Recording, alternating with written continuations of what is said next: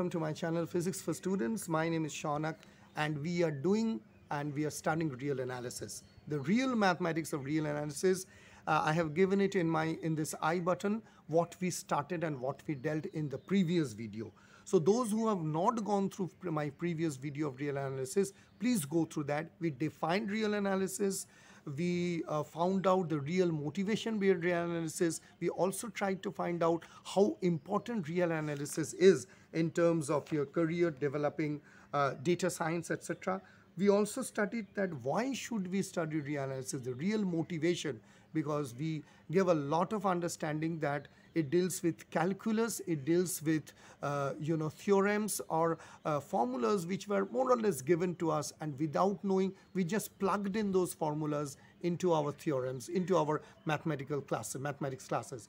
So in the last video, what we did is that we defined what is a real analysis all about in layman's term, how real analysis is helpful in data science, why should we study real analysis, most important, what are the general topics of real analysis, but we should not go by that topic. I have given a sequential understanding of the topics so that step by step you understand and you should see my earlier video because I have covered how much I think around 11 chapters of real analysis overall not the mathematics uh, technical part 11 chapters of real analysis.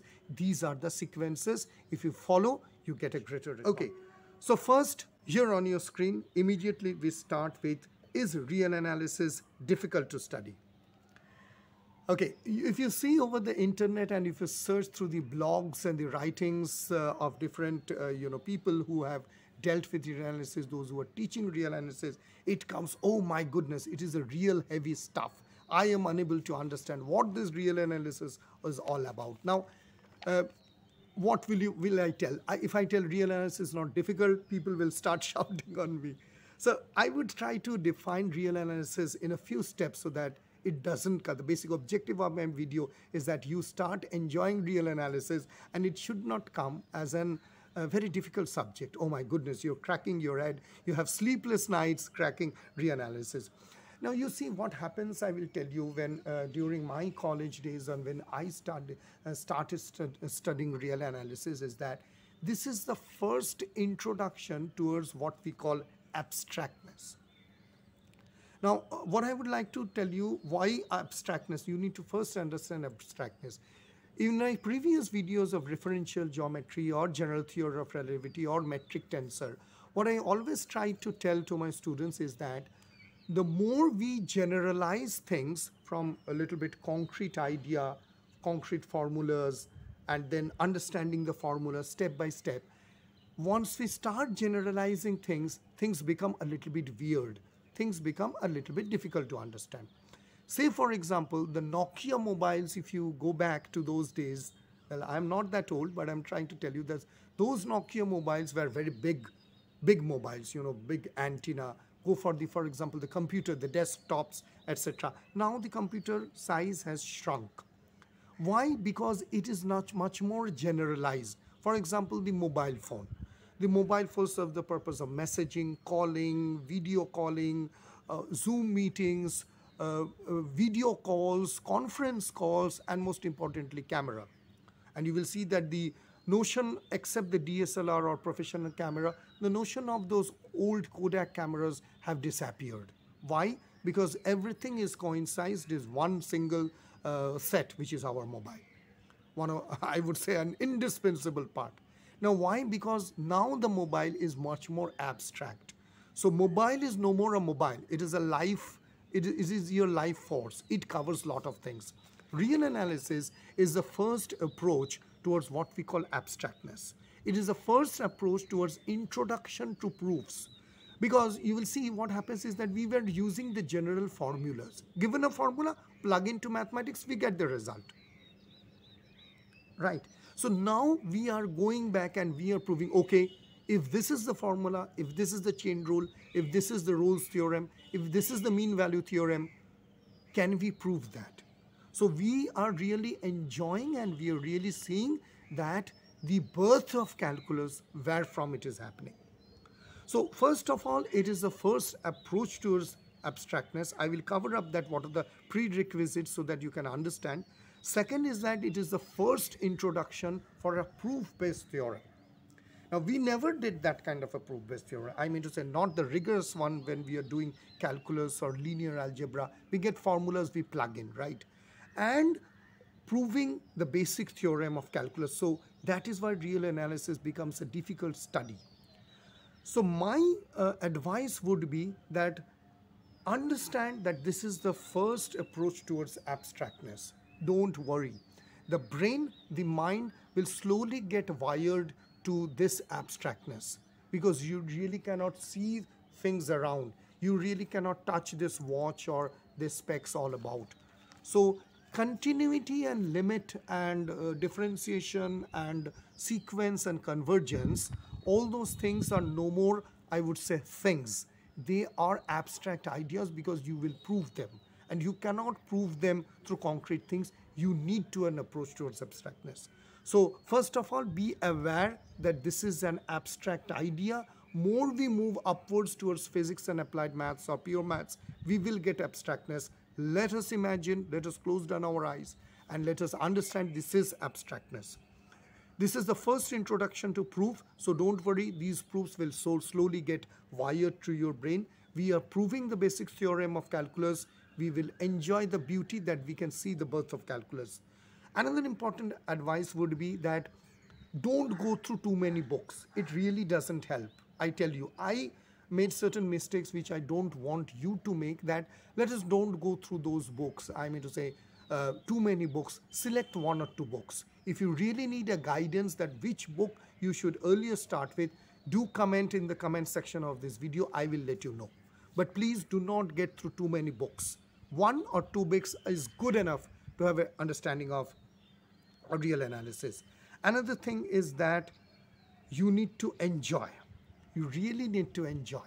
If you watch my, sorry, previous video, I repeatedly told that until you enjoy real analysis or the topic, you're never going to solve the problems. So how do you enjoy? Go back to my previous video. You really need to understand what is the motivation behind this why the uh, we need to prove these theorems and then we are going to understand so here is a quick kind of a recap that is real analysis difficult? Now I would say no. It is an absolute great mathematics.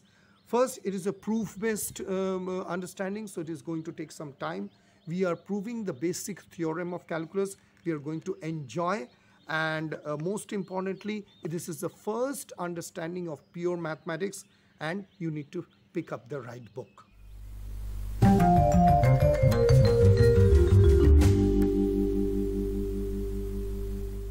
Okay, so this topic talks about the prerequisites of real analysis. Now, uh, in general, uh, if you go through the professor's lectures, etc., there are certain topics which people will say that you need to understand those topics. But that is why I told in the previous video, I have got a surprise for you. And this is the surprise. So in general, if you see that it requires single variable calculus, which is right on your screen, multivariable calculus, linear algebra, and I have written mathematical maturity and visualizing calculus. Okay, but I'm not going to talk about that. These are already known. Obviously, when you're dealing with real analysis, you will be dealing with those things, single variable, multivariable, linear algebra.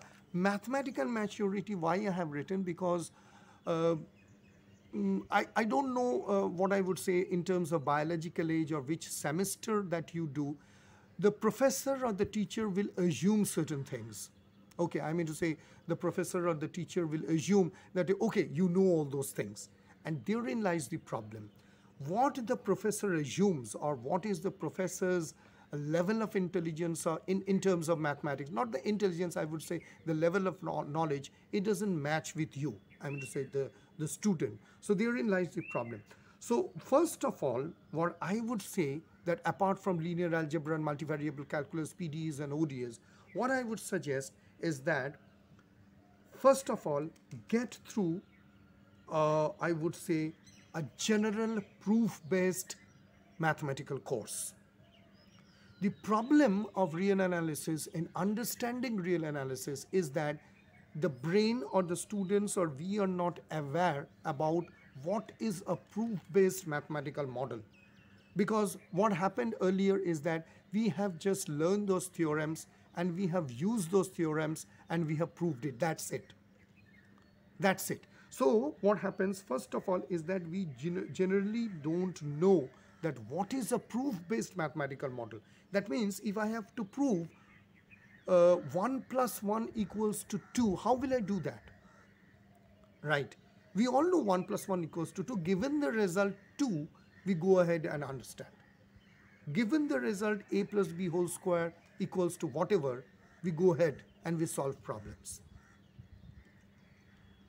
Right. So before even go, going into linear algebra PDEs, which is a very kind of a, I would say, uh, a general, uh, Um, general way of learning a real analysis, my first advice would be understand what is a general proof technique. Here on your screen, this is an exhaustive list. You can go through it, proof by induction, proof by cases, proof by contradiction, proof by direct proof, and all about this.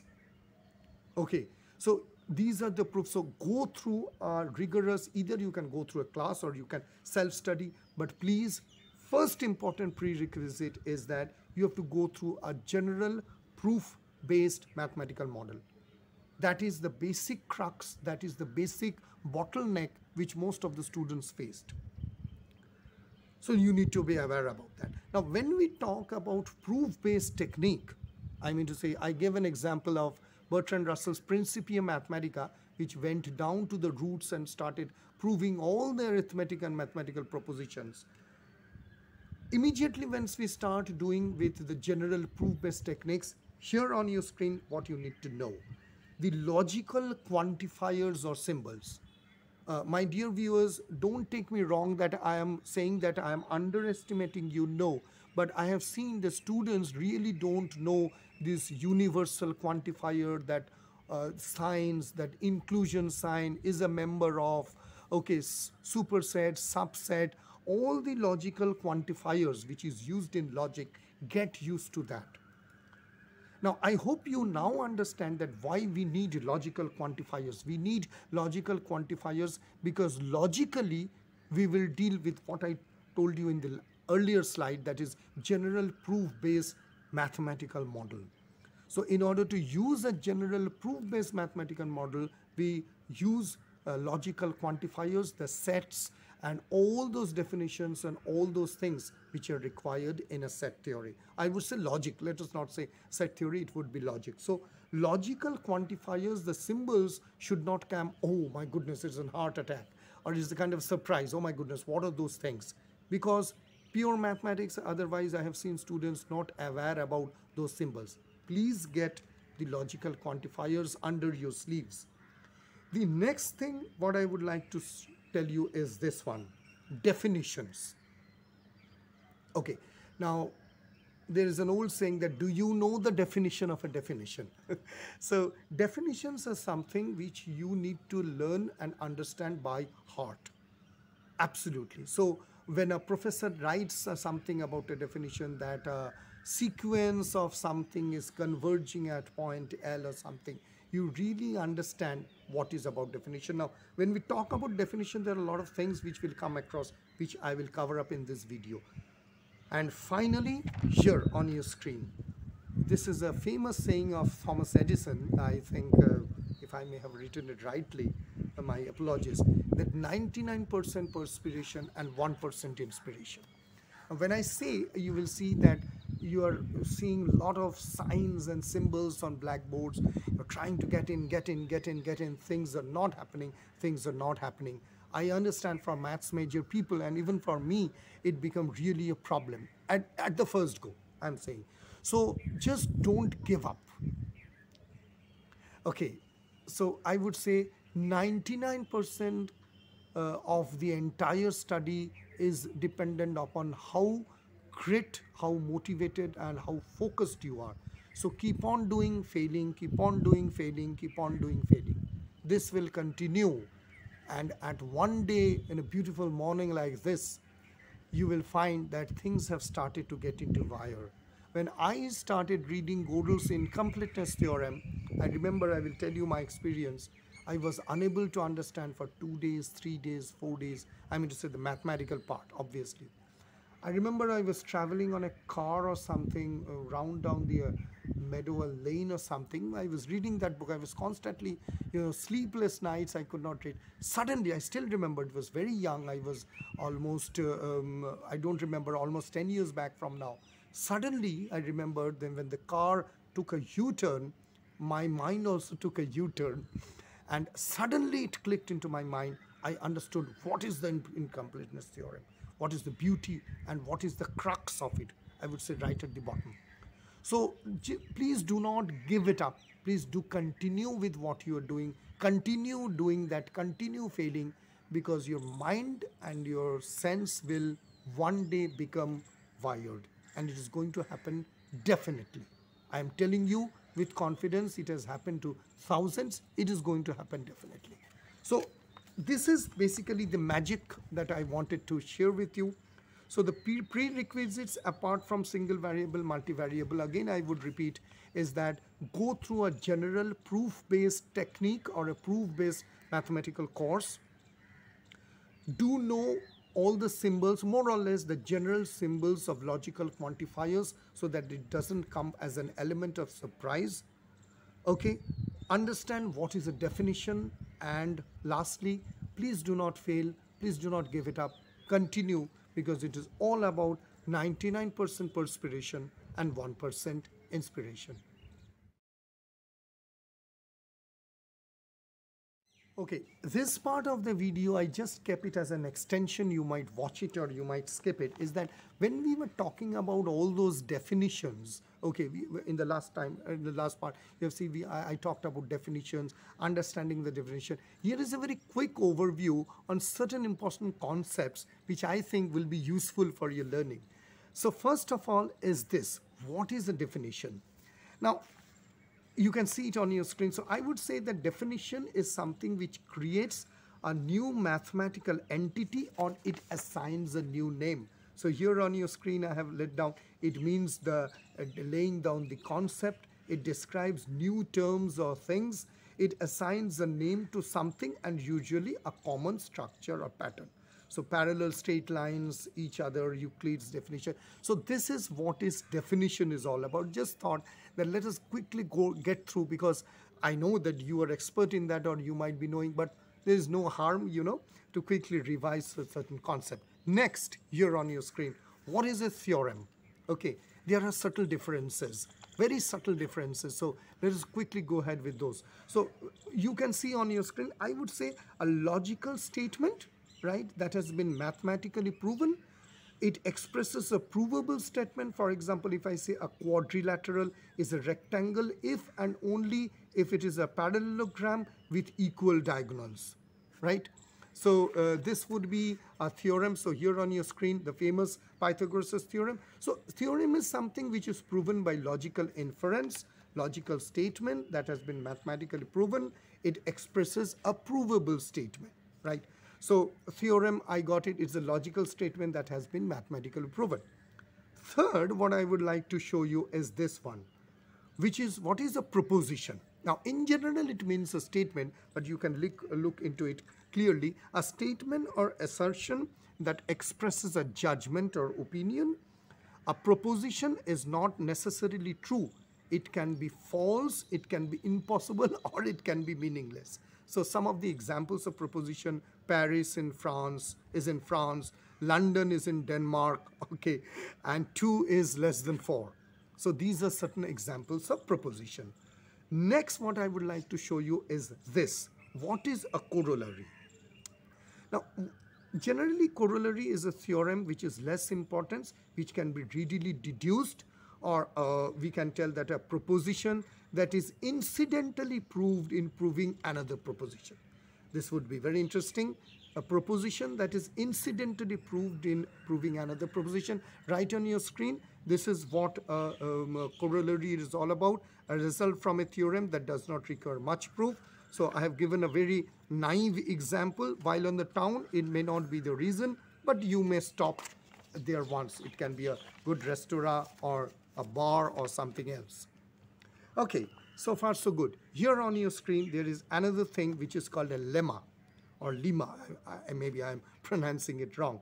So here on your screen, so we can call a lemma is nothing but a prove, proven statement that is used to prove other statements. So theorem is a result that you're interested in. Corollary is a result that follows uh, from a theorem, right? And a lemma is a result that you use at, to prove a theorem.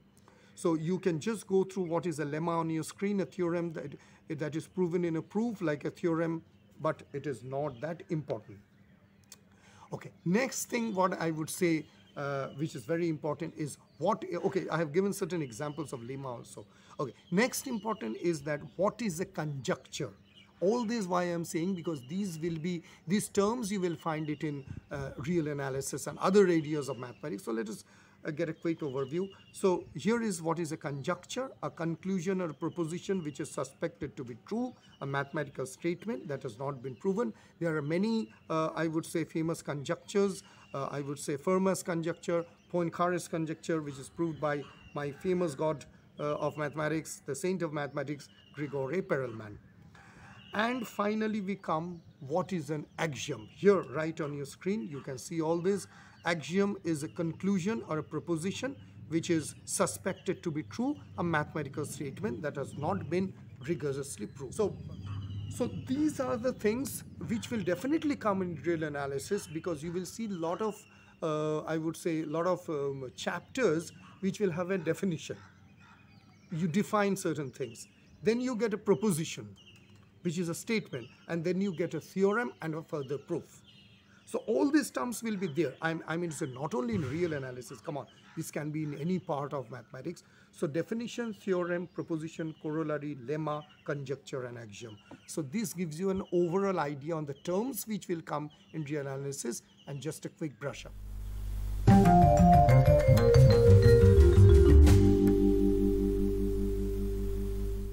Now what we do is that we deal with the techniques and methods of real analysis. I mean to say, uh, how can we come to know or what would be the uh, techniques and methods in which you can learn real analysis.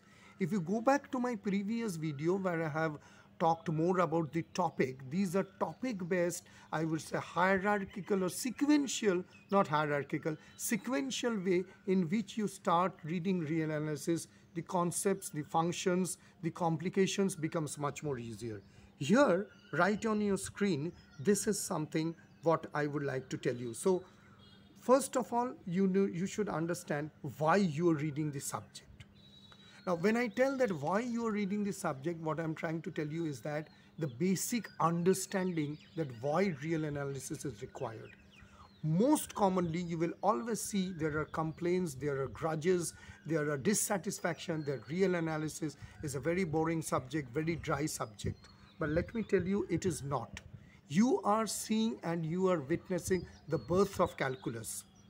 Okay, and that is why you should understand why you are reading the subject. Until you understand the reason, the real motivation behind reading the subject, you are never going to do real analysis in a proper way. So my first technique and method would be understand the subject. Go back to my video where I have talked at length about the real meaning of real analysis. The functions, the theorems, the formulas, whatever we are using blindly in calculus 1, 2 and 3 are being used in a proper way defined. So there are nothing called unassumed assumed or uh, I would say non-proof based understanding. Real analysis deals with everything which is proved in a proper fashion. And that is why because it is proof based it becomes difficult we are unable to understand. Because we really don't enjoy going back to the proof do we? We never want to know who our grandfathers or predecessors have been. So real analysis deals with knowing our grandfathers and predecessors. So that is most important why you are reading this subject. Very very important. Get the motivation up the second would be get an overall idea of the subject now here I would like to tell you that when you go through a textbook or your professor's notes in real analysis, okay, don't go chapter by chapter all the details at the initial stage. So what will you do? go through the overall idea of all the, say, for example, 10, 11, or 15 chapters of the book. Just brush through them. I'm telling you, it might sound a little bit weird, but it is going to help you. I'm making this video just as one of the prime idea is to motivate you to do real analysis, right? So get an overall idea of the subject, why I am doing, what is integration in Rn, what is differentiation in Rn, why we are again using chains rule, Rolle's theorem, intermediate value theorem, why. So overall, if you glance through the 11 chapters in a due process of time, few hours or a day, then you understand, okay, so real analysis, we are going to understand all about those things in a much more detailed and proof-based rigorous mathematical framework. Again, I repeat, it is a proof-based, real, rigorous mathematical framework. So the second point is very important. Don't sit down and again start reading chapter by chapter and then throw away the book and say, oh my goodness, real analysis is so unreal. okay, so go through the overall idea that uh, the overall textbook and why these are so. So you see that these are uh, uh, the overall idea and these are the things I'm going to learn. So you get an overall picture and then you start enjoying. Third thing would be you question yourself. I mean to say why this is done, why it is not done that way. Could it have been a proof in that way? Could it have been a proof in that way? So it really gives you a proper understanding that uh, why these things are being done, question yourself.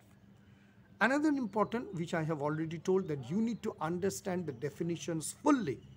Don't skip through any definition, go repeatedly. This is done in the one, two, uh, three, fourth stage. So once you go through the entire understanding of the definitions or the overall book and what is the idea, you start really enjoying, then you question yourself and then you start understanding the definitions fully. Also, I would say if you really have a little bit of time, try to learn the history of why those are things, the Riemann integrals, previous to that, what it is. It's not that that important, but you can do that. Another important is this one, that teach your friend. Now, I can tell you, my dear students or my viewers, that teaching really helps. Small subjects, axiomatic principles, the base of the pyramid, etc., small areas, okay, uh, suppose you understand understood one proof which can be associative transitivity whatever just a simple proof once you learn teach it yourself i can tell you when i started this channel of mathematics uh, physics about a year back one and a half years back now it is growing and i'm really thankful to all my subscribers my basic objective is that until i teach somebody i won't be able to understand all the understanding is internalized and I really don't know whether I have really understood if you're self-learning yourself. Best thing is that try to teach. Even you can try teaching in YouTube. Even you can try teaching your fellow colleagues. Right? So once you start teaching those things, you will say, oh my goodness, this is a good question. I hope you understand. The, your friend or your fellow mate might ask you a question which has not gone into your mind. So you go back again study and then answer those questions. A wonderful method. I would say for all these methods which I am telling, the most important is that teach somebody. It really helps. Finally, take your time. My dear, this is hardcore, proof-based, real, abstract, pure mathematics. Hardcore, proof-based, real, abstract mathematics, but it has its own beauty. Right? So it will take time. Do it, come into a failure. Do it, come into a failure. Slowly, slowly, slowly. And one day you will find things are going ahead. Anyway, so just a quick overview on the techniques. So why you're reading this subject, most important, go through and understand what is the reason behind understanding. And you can go back to my previous video, it is there in the playlist. Uh, get an overall idea. Please don't go immediately chapter by chapter. Please don't do that get an overall idea of all the chapters, just an overall understanding. The question yourself why I am doing so, understand the definitions fully, try to teach somebody, uh, sorry, try to learn the history so that you can really enjoy. If I have time, I will make a, a what you call history of real analysis. If you really want, you can let me know in the comment box. Do you really want to know what is the history of real analysis? I would like to make a video if you really want. Teach somebody and take your time. These are the very good uh, methods in which you can understand and start enjoying real analysis. Are you feeling hungry? Uh, I think this, this, this picture will make you uh, feel hungry. Okay, so uh, what I'm trying to tell you is that uh, this is called a sandwich method. Okay, this is one of the techniques of learning real analysis. Now, uh, why I give you this picture is that whenever you are uh, understanding a concept or a complicated functions or any theorem in real analysis, what I would do is that uh, take a piece of paper, right, or write on the top, write the definition. I mean to say either definition or what you are going to prove, the problem, the upper part of the sandwich, that cucumber part, right? Leave a blank space and right at the end, write what you want. Again, I repeat, on the top, you write the problem or the definition, you keep a blank space, and then at the end, you write what is that you want. So once you get what you are, what is the definition, and then you get what is the solution, in other words, I mean to say you don't have to write the solution in mathematical terms, just in plain English, write it what you want. You will see that the middle portion of the paper will automatically come out. You will be able to understand it. This is called the sandwich method. So you see a sandwich right on the top, there's something, middle in something, at the end is something. So what I want you is that please practice this method for real analysis. You can extend it further to any part of, of uh, mathematics. Get the real part on the top, okay, then you leave a blank, that means the solution, and you write in English or in mathematical terms, what is the outcome, what do you really want? That's it and then you will see you will be able to deduce. So this is called the sandwich method, a very effective and scientific way of understanding or solving problems.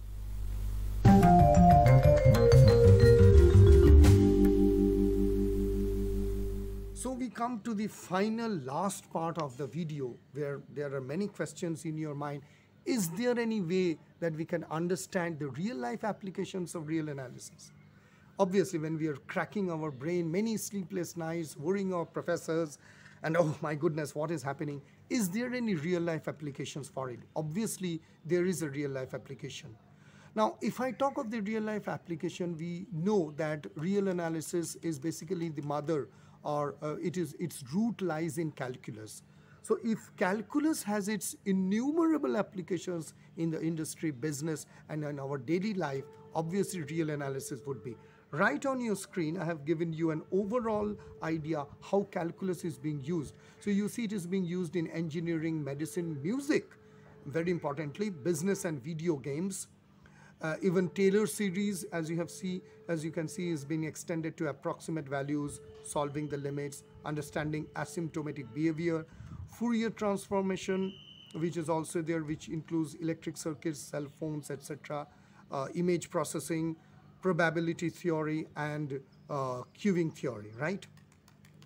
So what I'm trying to tell you is that in general, if you say uh, upfront that, okay, tell me what is the application of real analysis, it is very difficult to answer. I understand. It's really very difficult to understand, answer, because in calculus, we can so, show that continuity, differentiation, integration, uh, area under the curve, you can show that. But what about real analysis? It is so abstract. It is so, uh, you know, uh, it is so weird because we don't have something concrete to show. It is all proof, lemma, and theorems, etc. But let us understand this simple logic. If calculus gives rise to real life applications, then why won't uh, real analysis? Only thing is that real analysis deals with certain abstractness, so we cannot really show the understanding or the problems of real analysis. But if calculus is applied, so it is the underlying theorem in calculus. But what I would like to show you is this one. Here on your screen, these are the other applications of real analysis. I'm going to say it deals with approximation of polynomials, it deals with Fourier series of physics, it deals with Fourier series and approximation, it deals with wavelets, which I'm telling you what it is, and it deals with convexity and optimization. Now, these are, I would say, a little bit technical terms of applying real analysis. Now, most important among this definition is the wavelet part. Here you see on your screen what is a wavelet. Now, it comes under digital, uh, I would say digital imaging that actually what happens is that wavelet is a mathematical function which is useful in digital signal processing and image compression. Wavelet compression works by analyzing an image and converting into a set of mathematical expressions. At the bottom you see I have written recover weak signals and it compresses image. Okay, so that means that in case of digital processing, for example, especially for army and uh, I would say security service, you get a kind of an image and this is a blurry image and then slowly the image get processed, etc. Very technical, I don't want to explain.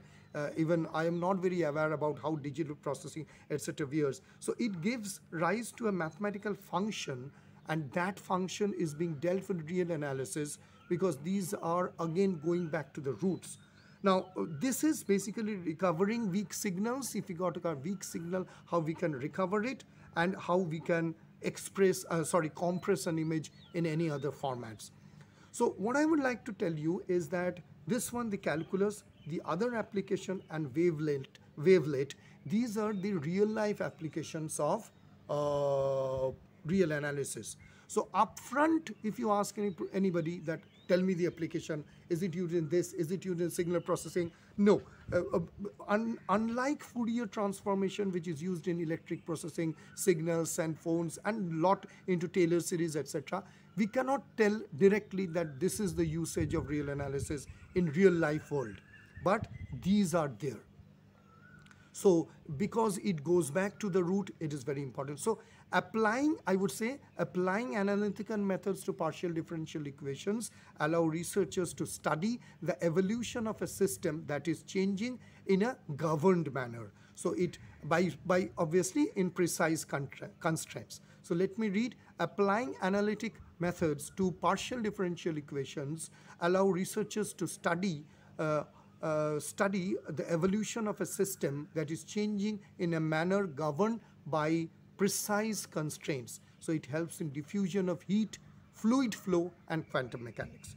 Now, if you really want to study further on applications, here on your screen, this is a book by Jian Zhong Hong, Wang, and Gardner, which gives you a complete understanding of applications of real analysis and also my dear students who are pursuing economics in phds etc etc here is another book uh, which is which com uh, comprises of the real life applications. Ah, so uh, we we come to the end of the this two series video right? So uh, let me summarize this part. The earlier summary is there in the first part. So what we learned is that is real analysis difficult to study? Not at all only what we need to do is ideas of abstractions. We need to understand we need to also understand introduction to proofs. Uh, we also need to understand proving the basic theorem of calculus. And my advice is that let us pick up one or two books. If you really want what are the books what would be the guidelines let me know. Second part which is very very very important is that what are the prerequisites of uh, real analysis apart from linear algebra, partial differential equation, and uh, single variable calculus, visualizing calculus also is important. Uh, I, I talked about, please go through a general proof-based technique or mathematical, uh, mathematical class or a lesson because this is the first time we will be encountering what is a proof-based mathematical model. Uh, you also need to understand what are the logical quantifiers and symbols. It should not come as an element of surprise. Third, it would you should also learn what are the definitions and 99% perspiration. Failure will come, failure will come, but at the end of the end, uh, end, end of the road, there is a bright light which is shining, and that is the 1% inspiration. We also dealt with what is a definition, theorem, proposition, corollary, uh, lemma, conjecture, and axiom, because these are things which are going to come not only in real analysis, it would be wrong if I tell that, but in other areas of mathematics. Techniques and methods of analysis, very important. I told you that sandwich method, write the problem right at the top, leave the thing blank, and then at the end write what you want. Automatically you will see that the, uh, that the, that the uh, internal part, that is the problem solving part with automatically come. Also, uh, please do understand, sorry, why you're reading the subject, get an overall idea of the subject. Uh, question yourself why you are doing. Because until you question yourself again what will happen? You will go back to those days calculus 1 and 2 you don't know you just get the formula you get things done. Okay so question yourself why you are doing it. If you don't get an answer sorry you take a step back. You go back and you understand why i'm doing so. Understand the definitions and most important teach somebody whatever small thing you're learning and take time. Okay my dear this is a real hardcore logic driven abstract mathematics framework. So it will take time but it will come. We also dealt with real life applications of real analysis. As itself we cannot tell you what are the real life applications abrupt but i showed you that it gives birth to calculus so we are going back to the roots most importantly it gives this diffusion of heat fluid flow and quantum mechanics. I also showed you what is a wavelet. This is i won't say it is very new but this is an emerging area which covers digital uh, imaging recovering weak signals and compressing image. Two books which i mentioned you can go one for the economics major how real analysis is coming to be useful and another for the applications of real analysis. So that covers my entire, uh, uh, you know, series in terms of uh, understanding real analysis because my plan is now to start with the mathematics of real analysis. But most important is that if we start with the mathematics of real analysis before that, we really need to understand and really need to get motivated. I try to follow this model in almost all my videos. You will see in general theory of relativity, I started with why you will learn general relativity, how you will learn general relativity, and then we go into metric tensor, Riemann, manifolds, etc. Same goes with differential geometry. Why will I understand why differential geometry is called differential geometry and not integrated geometry, right? The basic reason, the people around it, and then I started the lessons of differential geometry. Same I am doing with real analysis. I gave you a complete understanding of what is real analysis, how real analysis started. Uh, yes, I have not covered with the history part. Uh, if you want, you can comment, I can put it up. So I started the same with real analysis, how uh, things are, why you should learn, what are the problems, what are the solutions, techniques, methods, tips, everything. And now what I will do is that I will start one by one with the lesson plans of real analysis slowly, steadily, we win the race. So that's it. I don't need to uh, extend the video further because uh, the video is getting long, but I cannot help it. I have to tell those tips and techniques so that it becomes interesting. So let me know uh, your comment in the comment section. You can write here editor at physicsforstudents.com so that uh, any uh, further questions, big questions, which is not possible to write in YouTube, I can write it back to you and I can really solve out problems on those. But remember uh, that real analysis, the real part of real analysis is absolutely beautiful. It is absolutely beautiful as today's morning. The sun is up, there is a little bit cloud, the birds chirping around is almost uh, 6.30 in the morning and uh, that's it. It's wonderful uh, to talk on subjects which blooms into such kind of a thing. It blooms into kind of a flower. So I will wait for comments and uh, do like, subscribe, and do share my channel. I will start to develop further lesson plans and further things into real analysis. Do let me know how you like the video and please stay safe and happy and start enjoying the beauty of, real, of mathematics and let us learn real analysis in a much more enjoyable and happy in a happy mode. Bye until then. We'll see you see you in the next video. This is Shaunak signing off from Physics for Students. Stay safe and stay happy and enjoy mathematics.